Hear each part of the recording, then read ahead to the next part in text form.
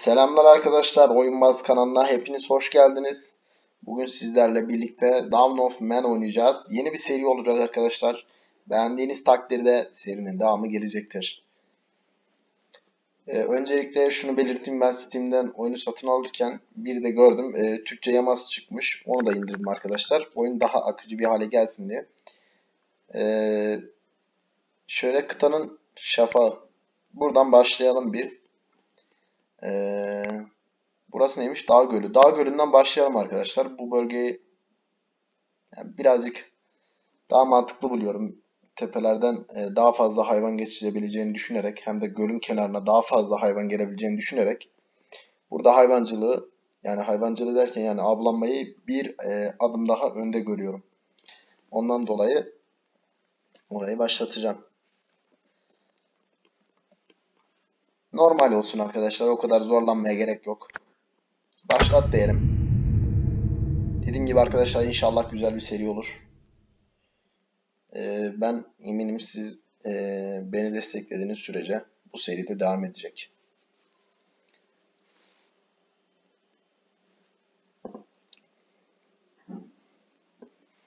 Bu arada arkadaşlar oyun e, Steam'de yanlış hatırlamıyorsam 40 TL gibi bir e, ücrete sahipti. Bizi şu an böyle bir yere gönderdi. Böyle bir yerden başlattı bizi. Evet arkadaşlar biz şimdi F7 tuşuna basarak buradan e, teknolojilerimizi görebiliyoruz. Oyunu hiç oynamayan arkadaşlar için bahsediyorum.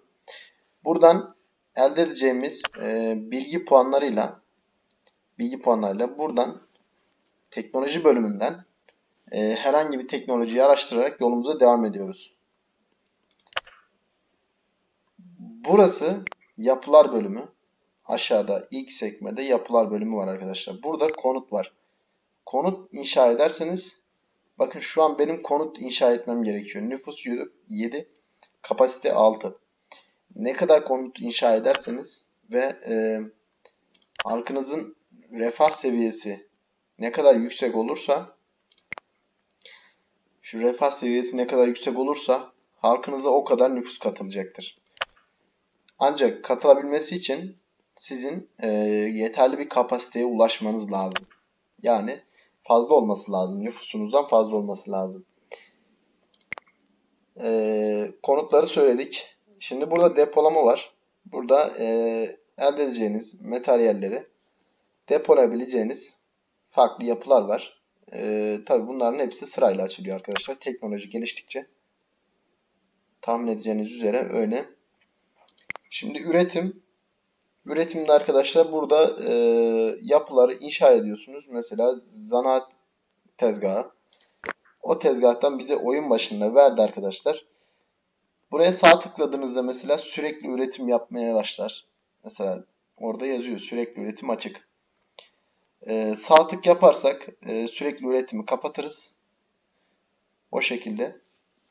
Şimdi ben e, sürekli üretimi şu e, ahşap mızrak, ahşap zıpkın bunlar için sürekli üretimi etkin hale getireceğim. Daha sonrasında mesela kemik bıçak, e, çakmak taşı balta diyor mesela. Bunları ben teknolojilerle açtıkça bunları kapatacağım artık. Buradan devam edeceğim. Bu şekilde devam edeceğiz. E, oyunda avcılık var. Ayrıca bir de e, bu avladığınız hayvanları e, yani evcilleştirebiliyorsunuz. Onların sütünden, yunundan faydalanabiliyorsunuz. Tab tuşuna bastığınızda oyunda e, böyle avlanabileceğiniz hayvanları gösteriyor ve bu hayvanların nedenli tehlikeli oldukları renkleri değiştiğinde anlıyorsunuz Esen Yani burada turuncu bir mağara ayısı var. Diyor ki nispeten e, saldırgan bir hayvan e, bulaşma diyor. Mesela burada ne var? Yabani eşek. Hiçbir saldırganlığı yok. Yeşil olanların hiçbir saldırganlığı yok. Sadece kaçarlar sizden. Dağ keçisi. Hiçbir saldırganlığı yok. Sadece kaçıyor bizden. Bakın mesela çok kırmızı gösterilen bir şey göstereceğim. Mağara ayısı yetişkin erkek. Çok kırmızı gösteriyor arkadaşlar. Buna ulaştığınız takdirde muhtemelen e, sizin bir iki tane nüfusunuzu yok edecektir. Ee, şimdi biz şöyle e, burada arkadaşlar ha, burayı söylemeyi unuttum. Burası çalışma alanı belirliyor arkadaşlar. Sürekli e, yapılacak şeyleri siz böyle bir çalışma alanı belirliyorsunuz. Oraya da istediğiniz kişi kadar veya e, durulacak sınır. Hani mesela 10, da, 10 tane topladı sonra, sonrasına gerek yok diyebiliyorsunuz. Ama ben 15'e çıkardım bunu. İlk etapta bana lazım olacak çünkü. Çakmak taşı arkadaşlar ilk devirlerde çakmak taşı oyun için temel yapı taşıdır. Şöyle üçünü de kapsayacak şekilde bir yere koyacağım. Buraya 3 kişi vereceğim. 10 değil. 30 yapacağım bunu da. Daha sonra avlanma alanı belirleyeceğim. Avlanma alanı e, buraya belirlemek istiyorum. Buradan azami görev sayısı, et sayısı, buradan deri sayısı, kemik sayısı. Bunları 20'ye çıkaralım. Bize en başta 40 tane et yetecektir. 2 kişi de çalışsın burada. Şimdi gelelim yabani ürünleri toplayabiliyoruz. Yani yabani ürünlerden kastı yiyecek, içecek, materyaller. Yani e, ağaçlardan falan yetişen meyveleri toplamak için. Sınırsız yapalım onları zaten. Otomatik sınırsız. Şimdi ne kaldı? E, balık tutalım. Balık tutmak için şöyle tam ikisinin ortasına yerleştirdim gördüğünüz gibi. Hem burayı hem burayı kapsıyorum. Evet. En başta birazcık bizim dediğim gibi e, yemeğe çok ihtiyacımız olacak. Gördüğünüz gibi burada yemek sayımız yetersiz biraz. Burada da iş yoğunluğunu görüyorsunuz arkadaşlar. İş yoğunluğu. Bu iş yoğunluğunu dengede tutmanız gerekiyor. Aksi takdirde e, yani işler çok sarpa sarıyor arkadaşlar. Göreceksiniz ileride oynadıysanız siz de bilirsiniz zaten. Burada bir kişi yeterli. Ben şöyle tab'dan tekrar e, normal konuma döneyim. Oyunu 1'e bastığınızda tuşlardan normal hızla ilerletir. 2'ye bastığınızda 2 katına çıkarır. 3 katı şey 4 katı 3'e bastığınızda 4'e bastığınızda 8 katına çıkartır. Bu arada e, zaten en fazla 8x var arkadaşlar. Ee, size oyunun sesini açacağım ama yani e, oyunun sesi öyle hemen hatta buradan yapamıyorum bile. Oyunun sesi e, öyle dereceli değil yani. Hani 1, 2, 3, 4 diye bir sınırlandırma yapmışlar. 1'de bile çok yüksek oluyor. Ve bu da e, benim sesimi kapatıyor arkadaşlar. Ondan dolayı e, ben sesi kapattım. Bir tane dağ keçisi avladık ilk defa. Ne yaptı? Bize bir, bir tane bilgi puanı verdi. 10 tane dal parçası toplamışız. Bir tane bilgi puanı verdi. Şimdi biz bu bilgi puanlarını toplayarak gelişmeye devam edeceğiz. Benim bir tane konuta ihtiyacım var. Nedenini soracaksınız. Ee, ben bu tarafa doğru genişleyeceğim. Bu arada Z ve C tuşlarıyla yapacağınız yapının yönünü bu şekilde değiştirebiliyorsunuz. Bir tane ben buraya e, çadır inşa edeceğim. Yeni gelecek nüfus veya doğacak çocuklar için. Çakmak taşı elde ettik. 10 tane bize e, bir tane de şey verdi. Bizim depolama alanına ihtiyacımız var bir de arkadaşlar. Şu an hiç elimizde yok sanırım. Kaya yığını. E, bizim hmm, depolarımız burada olsun mesela. Aynen. Bu arada shift tuşuna basarak çoklu inşa edebilirsiniz. Ee, şöyle.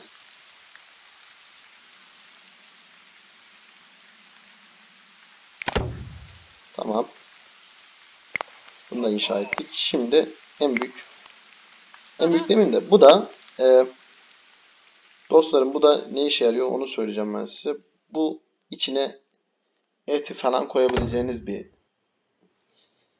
e, depo. Hepsinin deposu yani kısacası. Bu genel bir depo. Ama ben bunlardan da inşa ettim ki et ve et ürünlerinden çok fazla e, elde edeceğim için e, bu depoyu çabuk doldurmasın. Şimdi bir de bu da geri geldikçe söyleyeyim. Dini sekmesi var. İnsanların moralleri çok önemli arkadaşlar. Bilgi diyor mesela. Çeşitli hedeflere ulaşarak bilgi puanları kazanabilirsiniz. Bunu zaten biliyoruz. Ben size bahsettiğim olaylar.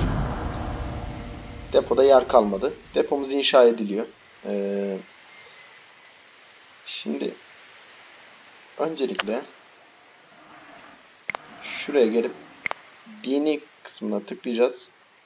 Aa bu arada gördüğünüz gibi iş yükü acayip fazla. Yani hiçbir şekilde şu an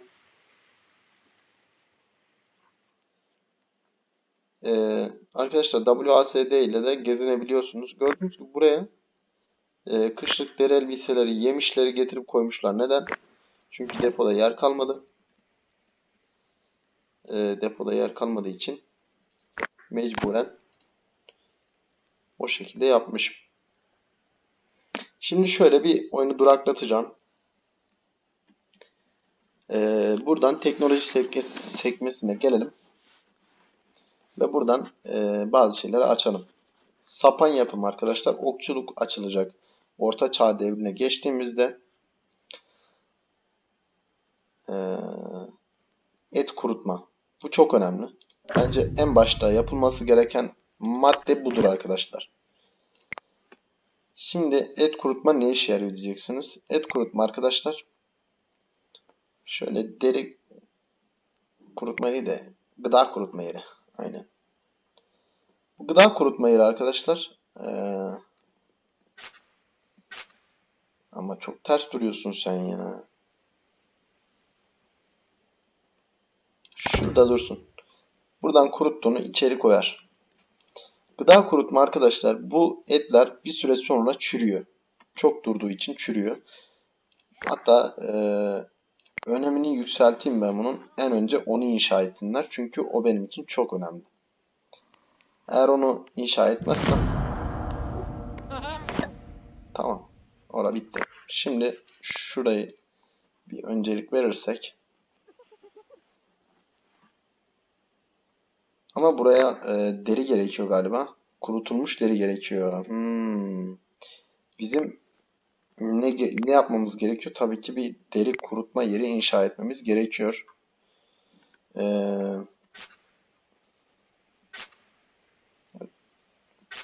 Yani bunun e, bu tarafa doğru hiçbir şekilde genişlemek istemiyorum. Buraya da bu deri işlerini hiç getirmek istemiyorum. Şöyle koysam. Dağınık mı olur acaba? Evet 3 tane yeterli bize. 4 dal parçasına üretilebiliyormuş. Evet elimizde kaç tane ham deri var? 8 tane ham deri var. Güzel hemen inşa edebiliriz. Eğer e, burayı inşa edersek derilerimizle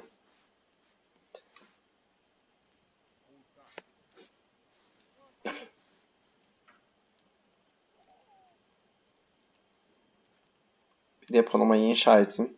Bakalım balığımız kaç tane var? Balık 4 tane var. 21 etimiz var. Güzel. 7 tane bıçağımız var. Balık aletlerimiz var. 3 tane. Tamam güzel. E, 28 tane çakmak taşı var ki bu en başta bize çok çok değerli bir şey. E, yani şunları buralara koymaları hiç güzel değil. Depolamada yer kalmadı. Sürekli bu hatayı alıyorum. E, şu an kuruyor. İki tane derimiz kuruyor. Onlar kurusun zaten hemen e, inşa edeceklerdir. 3 deri kurutma yeri inşa ettiğimiz için bize e, bir tane bilgi puanı verdi. Şöyle oyunu bir duraklatacağım.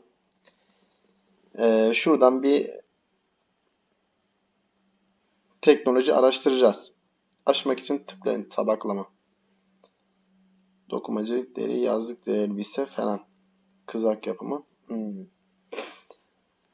Sapan avcılık için iyi olacaktır. Yani köpek evcilleştirme avcılıkta çok çok işimize yarıyor. Kesinlikle yapmamız gerekiyor. Ben köpek evcilleştirme diyeceğim.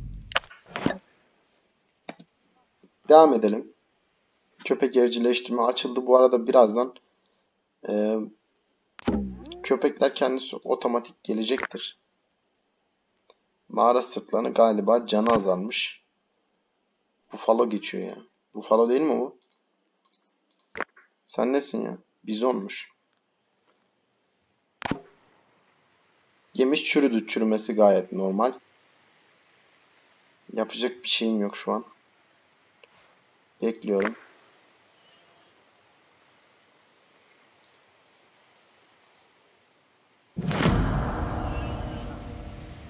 Depomuz birazdan inşa edilecek. Sadece birazcık ee, sakin olmak gerekiyor. Aynen. An depomuz da inşa ediliyor. Ee, bir tane 10 tane muflon avlamışız. Çok güzel. Çok güzel bir değer. Ee, %86'lık bir iş yükümüz var. Bu arada bir tane de çadırımız inşa ediliyor.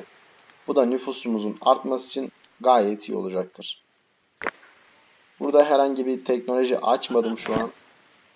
İlk defa depolama çadırı yapıldı. Bir tane bilgi puanı kazandık.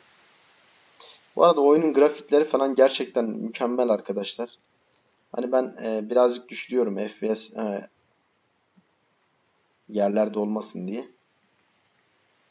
Ama gerçekten güzel grafikleri var. Oyunun e, yapay zekası da gerçekten güzel işlediğini söyleyebilirim. 10 tane kurutulmuş deri inşa edildiği için yine bir e, biz şu şeye bir girelim. Köpeği eğitmeyi açacağız şimdi. Köpeği evcilleştirmek farklı arkadaşlar. Eğitmek farklı. Bunu da açacağım. Bunu da açtığımız takdirde e, köpekler gördüğünüz gibi bizim kontrolümüzde. Yani bizle birlikte bakın mesela durak satacağım şimdi. Bu arada şu şekilde gelip e, onların penceresinden dünyaya bakabiliyorsunuz. Başlatalım. Bu, bu köpeklerin hepsi bizim bu arada. Bu köpekler biz avlandığımızda bakın yardımcı oluyor. Gidiyorlar. Bizim de avlandığımız e, hayvanlara onlar saldırıyorlar. Çiğ et kalmış, hamderi kalmış. Onları getirirler zamanla. Biz ne yapacağız peki? Ee, ilerleyen safhalarda e, Aa tüccar geldi. Tüccar geldi. Abi neyim var? Tomruk gerek yok. Tomruk dediği şey arkadaşlar e, ağaçları keserek elde ettiğimiz odunlar. E, kemikten aletler. Yani direkt teknolojiyi satın alabiliyorsunuz arkadaşlar ama şu an benim bu kadar para verip alabileceğim ya da takas yapabileceğim bir şey yok.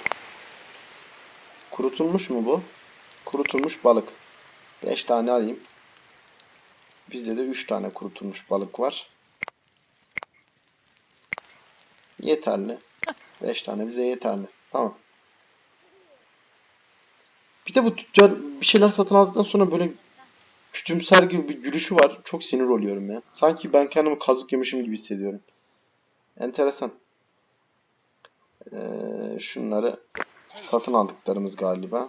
Aynen. Abi içeri alın onları. İçeri alın. İçeri alın.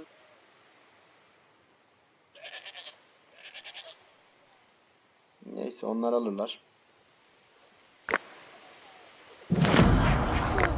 Mağara sırtlanı mı saldırıyor? Abi bizim bir tane hayvanımız şey insanımızın canı fena yaralan diyecektim. Öldürdü ya. Vay be. Abi çok iyi. Giysiler.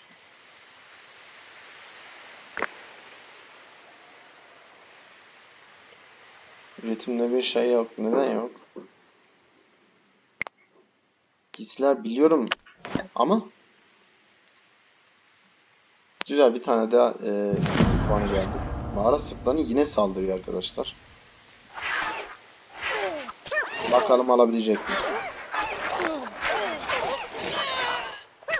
Hayda.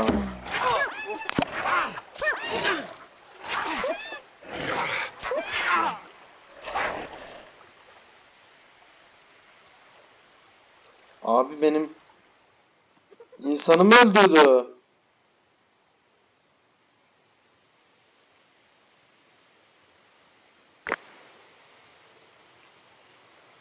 Abi saldır buna.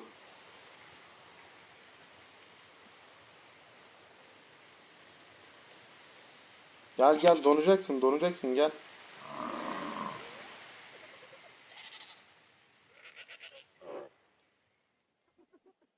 Git bir canını doldur ya.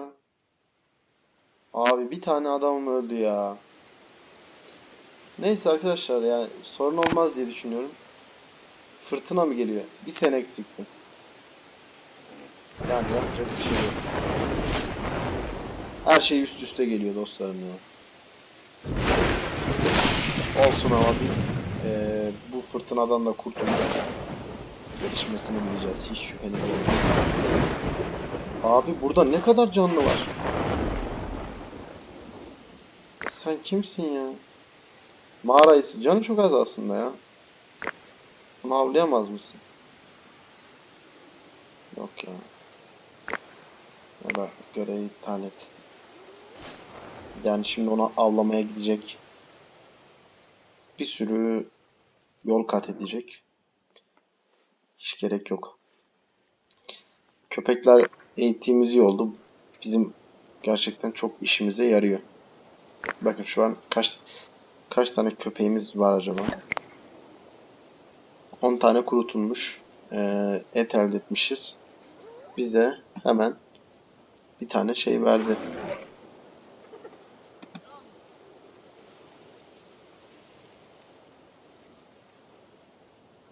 Bunu açsam mı? Açsam mıyım? Açmasam mıyım? Onun, o biraz. Bence bu daha önemli. Buradan eee, kemik mızrak, kemik zıpkın, ahşap mızrakla ahşap zıpkını bırakıp bu ikisinden elde edeceğiz. Kemikten aletler açıldı. Tamamdır. Kış atlattık bu arada. Artı bir tane bilgi puanı verdi. Abi bize iki kişi katılmış. Çok iyi. İş yükü yaz aylarında biraz artacaktır arkadaşlar. Onu e, hiç takıntı yapmanıza gerek yok. 10 tane balık elde ettik. Bir tane bilgi puanı verdi. Evet dostlarım. e, bu bölümü burada noktalayalım. E, gelecek bölümde e, neler yapacağız ondan bahsedeyim biraz. Şöyle pardon. Arkadaşlar gelecek bölümde Orta Çağ devrine geçebilir miyiz bilmiyorum ama inşallah zorlayacağım. Geçersek arkadaşlar e, buradan okçulukla daha hızlı bir e, avlanma yapacağız. Ayrıca buradan gördüğünüz gibi tahıl işleme gelecek. Tahıl işleme, tahıl ekemiyoruz ama işleyebiliyoruz. Bu ne demek oluyor? Etrafta çıkan mesela e, bu ne? Yok. Burada yok. Şöyle göstereceğim. Bulabilirsem şayet. İnşallah bulabilirim. Aynen mercimek. İşte bu şekilde. Mesela sen bunu e, gelip yaz mevsiminde toplatabilirsin ve bu toplattığını da işleyebilir hale geleceksin. Şu an toplatsak işleyemez yani işleyemeyiz. E, bunu araştıracağım E, ve ya yani yemek konusunda herhangi bir sıkıntımız kalmayacak. Daha sonra e, tabaklama bunu araştıracağım. Dokumacılık ve deri yaz elbiseleri bunlar açılacak. Daha sonra cenaze ritüellerini açacağız ve insanların morallerini daha yüksek hale getireceğiz. Buradan da çakmak taşından aletler yapımını daha da geliştireceğiz ve çakmak taşından mızrak, balta, kazma yapabileceğiz. Orta Çağ devrinde e, tamamıyla çakmak taşının üzerine yükleniyorsunuz. Yontma taş ve çakmak taş devrinde. Cilalı taştan itibaren artık e, biraz daha böyle e, taşa yoğunlaşıyorsunuz. Artık tunç ve demir çağından sonra e, diğer farklı materyallere yöneliyorsunuz. Bu da çelik oluyor, bakır oluyor. E, oluyor da oluyor. Bir sürü maden var. Bunları zamanla size göstereceğim arkadaşlar. Şimdilik e, beğenilerinizi e, eksik etmeyin. Şimdi hepinize iyi günler diliyorum. Bir sonraki videoda görüşmek üzere arkadaşlar.